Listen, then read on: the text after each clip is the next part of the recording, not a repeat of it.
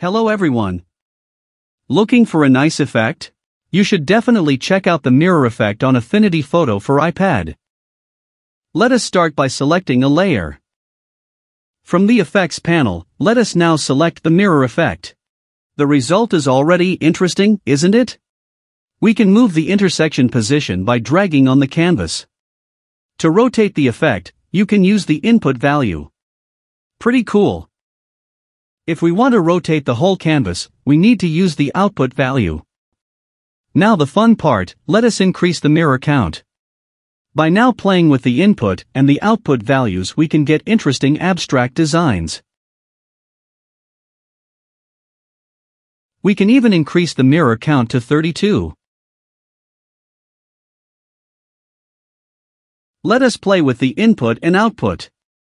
Amazing. And a bit trippy, but super cool.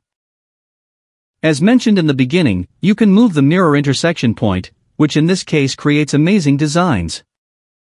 Do not forget to press the apply button once you are happy with the end result. I hope you liked this video and as always, thanks for watching.